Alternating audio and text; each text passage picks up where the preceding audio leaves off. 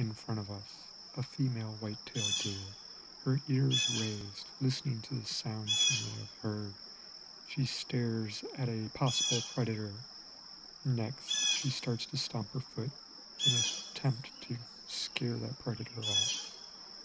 Then, she also bobs her head while stomping the ground.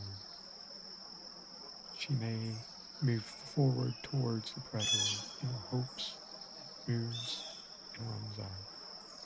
If this fails, she can also snort through her nostrils and mouth, making a noise in an attempt to scare the predator.